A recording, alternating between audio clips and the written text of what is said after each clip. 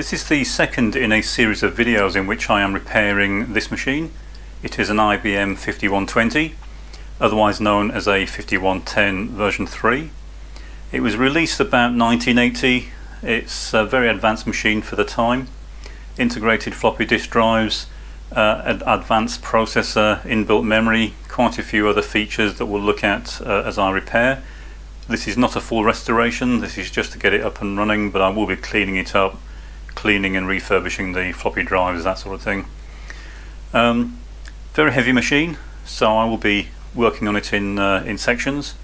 It weighs about 45 kilograms or about 100 pounds uh, and I know that's true, I've just carried it up a couple of flights of stairs and um, this shouldn't take too long, I'm hoping this will be a, relatively short series but it depends on what we find inside.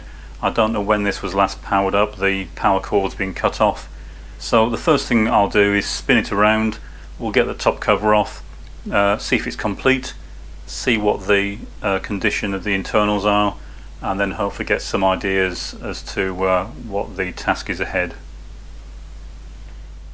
Okay, we'll begin by getting the top rear cover off. It should pop off fairly easily. I haven't looked inside this yet so I don't know uh, what to expect.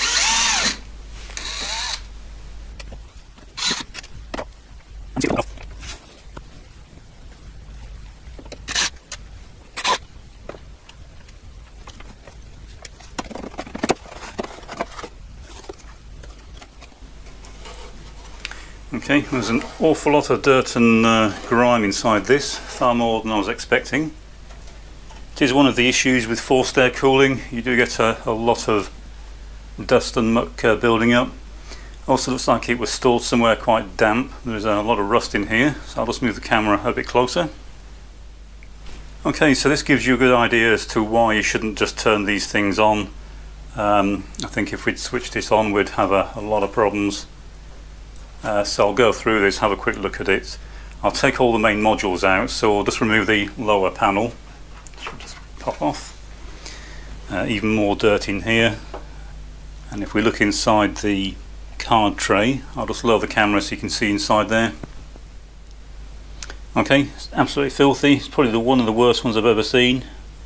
I've got no idea where this was used or stored. Um, but what normally happens is it builds up dirt and then you get moisture in there and the dirt traps the moisture and it starts to corrode. Um, this is probably repairable but it depends on how severe the corrosion is on the motherboard and whether that's made its way up into the main cards.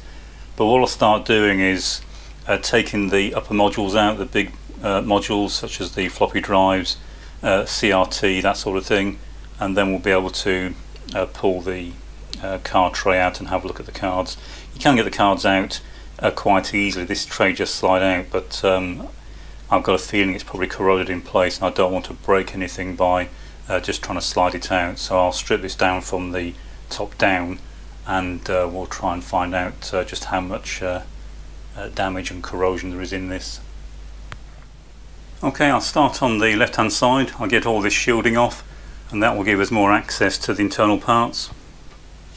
Just held in place with a series of screws it's just a case of making sure that I can find them all and remove them and the shielding should just pop off. Okay, so I have the shielding taken off the back. Uh, what I can now do is slacken off the uh, clamping screws that hold the floppy drive assembly in place and in theory it should slide back and out. It rarely does that so I tend not to prefer doing that. You can end up damaging something but in theory what you're supposed to be able to do is just unplug the two power connectors, disconnect the signal leads and then this whole assembly should come out along with the shielding. But as I say I don't recommend doing it that way unless it's been dismantled fairly recently. But there's so much corrosion on this that I really don't want to risk pulling this out without taking the screws out that hold the clamping bracket in place. So what I'm going to do is move to the other side of the machine. I'll take the monitor out and then I'll try and take the entire tray out that secures the floppy drives in place and before I do that what I'll do is take this uh, interface card out of the way so I don't damage it. Well this machine is in a very poor condition, very badly corroded, absolutely caked with dirt and grime. This doesn't actually belong to me, and I'm not sure the owner is going to want to invest the amount of money required to get this working again, but I'll keep working through it anyway, so at least we get a full understanding of uh, what it is we're up against. Uh, but it is by far the worst machine I've seen. I don't know where it's been stored, but it looks like it was uh, up to several inches in water at one point. I've taken all the chassis screws out, all the ones um, that I should need to take out. The way this is supposed to work is each module is held in place from the back of the machine with a, a few screws and you should be able to take the screws out and then slide the entire module out. Unfortunately they're, not sliding out, all the cables and everything is uh, kind of bonded together um, with corrosion and dirt and I don't want to just pull them out because it will do even more damage so uh, off camera I'm just going to uh, ease them out very carefully I want to do it off camera because the camera's in the way and it's very difficult to work around it and I want to be quite careful and get them out with the minimal amount of damage. I get the monitor out of the way fairly easily, that's just uh, an easy module to uh, remove. I've taken the screws out. That will now just lift out as a complete module. It's a pity the rest of the modules won't come out that easily but as I say they are uh, absolutely um, corroded into place. So I'll get that done off camera and as soon as I've made a bit of progress and got some of the modules out we'll have a look and see what's left. Okay, I was just removing the uh, card box and uh, found something that I've never seen before. I work on these machines or this type of machine a, a great deal so I've seen machines in lots of different conditions but as I say this is the worst one I've ever seen. When I took this off I've seen something uh, new there's normally a rubber pad bonded to the underside of this plate and it's to stop the cards vibrating loose and to stop them wagging about uh, when the unit's moved around. Um, but there's actually something growing out of the rubber on this particular pad.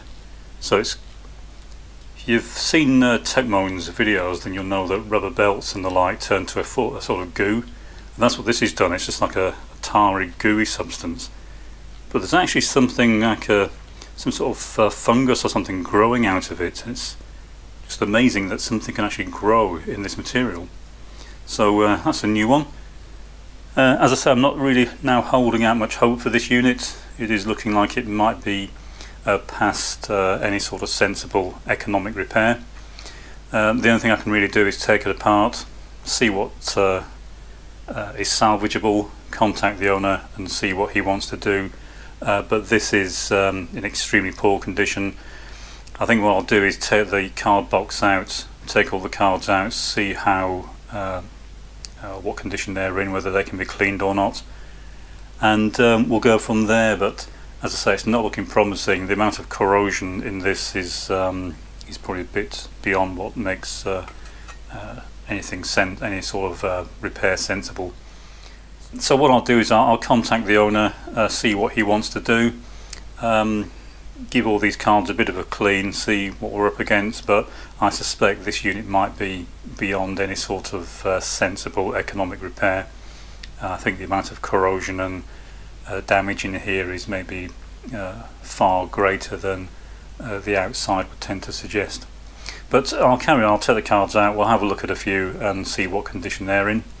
But yeah, another new one, so uh, you always find something new when you're working on these things. Okay, I finished the initial disassembly and uh, things haven't really improved. So we'll look at each of the major uh, components in turn and see just how bad they are. So the uh, centre portion of the chassis is not looking too bad, that will clean up fairly well. So I've unscrewed that. Let's get that out of the way and even the lower chassis is not too bad. This it looks really disgusting, but it will clean up quite nicely. There's nothing really uh, in here that we can't manage quite uh, quite easily. There are no major breaks. Um, the condition this is in is quite good. The thing that concerns me a bit is there is liquid damage in here. I can see there's liquid been running through this. So I've got a feeling this has been stored in a loft or a shed that was leaking and there's been a lot of liquid going through it. We'll see more evidence of that later on. Um, but certainly this part of the chassis is recoverable. It would take a lot of work, um, but certainly can be done. Haven't looked at the keyboard yet. I'm suspecting there'll be a lot of corrosion on that if water's been running onto it. Uh, but I'll get this part of the chassis out of the way and we'll look at the next bit. Okay, so looking at the power supply, uh, cosmetically it doesn't look too disgusting.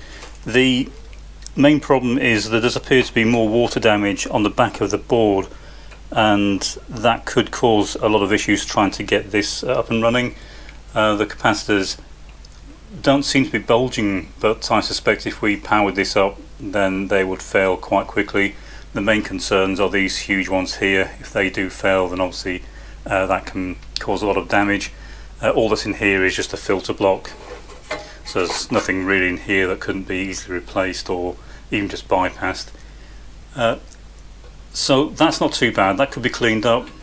I'm sure the power supply could be uh, got to work quite easily um, but might cost a bit to replace these uh, capacitors and uh, they do need to be certain types because they're screwed to the board. Smaller types could be put inside with some flying leads of course. Um, it kind of depends again what the owner wants to do. I can take them out and test them. Uh, the only problem is with capacitors of this age is they might test okay and then uh, fairly quickly they could fail and uh, cause a lot of damage to the rest of the unit. Um, but I mean it looks disgusting but this would clean up reasonably well. Uh, the main problem is when I turn it round you can see it looks like there's been a lot of mo moisture getting into this thing. And um, my concern here would be looking through I can see there's a lot of corrosion on the back of the board. You can't see it on the camera but uh, I can shine a torch in here and there's a lot of uh, white fur on the back of the board. So uh, that board uh, would take a lot of work to get uh, up and running okay I'll get this out of the way and we'll look at the worst bit okay so looking at the card tray we can see this is in a very poor state as I said I've never seen one quite this bad it is really disgusting. I'm not even sure really what's happened to it. Um, one thing that's interesting with machines of this era though is they were very much uh, still development machines. They were still being developed and a very good uh, example of that and a good way to see that is if you turn and look at the bottom of the motherboard you'll see it's a wire wrap assembly and they did that mainly because this was under constant development so it wasn't really a case of they designed it, made PCBs and that was it. This was uh, constantly evolving and so quite often you'll find that you might have two machines that look identical on the outside but could be very different internally. Now what I'm going to do is just pop one of the cards out. You can see the um, motherboard itself is uh, in very poor state. I've got a feeling the contacts might be quite badly corroded in there but I'll pop one of the cards out and we'll see how bad it looks. Okay, so doesn't look quite as bad as I was expecting. A lot of dust and dirt. Have a look at the contacts. They don't look too good, but they may clean up. It's really a, a matter of taking the thing completely apart and spending some time trying to clean it. They may clean up, uh, but the problem is um, if there are problems on some of these components then there's obviously absolutely no chance that we could find replacements for them. Okay, I'll just pop this back in so I don't uh, misplace it. Okay, and there is another um, top motherboard for hosting various cards and um, this one doesn't look too bad, it was uh, much higher up in the machine. There is corrosion in the connectors uh, you can see there's a lot of grime and um, kind of tarry substance all over it. Uh, would take a lot of cleaning. Some of the contacts do look to be very badly corroded. Um, but the actual motherboard itself doesn't look too bad. And this is actually a PCB, so you can see this was much more evolved, much more stabilized. Uh, but the general build for everything is, is very similar. It's this type of uh, block matrix um, board design and these were designed a little bit like FPGAs are today um, different uh, technology of course but they had kind of a block layout and then they just interconnected them and uh, connected um, the ICs in such a way that it gave them good flexibility and very fast um, development using relatively standardized boards. So it's quite a clever idea but uh, obviously it means that uh, you end up with fairly uh, inefficient board layouts. Okay, so we'll get the last bit onto the bench and have a look at that. So this is of course the floppy drive assembly. Uh, incidentally you're supposed to be able to just slide these out and as I said at the start of the video it was um, a matter of trying to get this out without damaging anything but it was fairly badly corroded in place. What you would normally do is just uh, remove the screw at the back left and then this whole thing should just slide backwards and lift out but it just wouldn't move. Uh, even with the screws um, taken out I still had uh, quite a struggle getting these out. Uh, but now they're out we can see that um, again this uh, is absolutely full of dirt I've got no idea what's happened to this I've never seen one like this it's absolutely full looking into the slots there probably quarter full of um, just some horrible dirt and grime you perfectly cleanable of course it's uh, more than likely these could be taken apart cleaned up and got working uh, as I always say anything's repairable but this isn't mine uh, I'm not sure I want to invest the amount of time uh, an expense in getting this working. Um, as I say, I need to talk to the owner and see what he wants to do.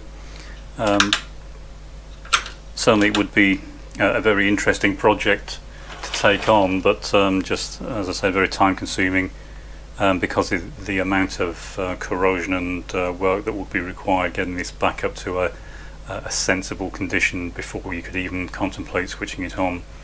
If you tried to turn this on now with it all connected up, I suspect it would probably just uh, blow the fuse or catch fire or uh, something bad would happen. So it's not something um, you would do. There's a lot of work um, just to get to the point where you would dare switch this on.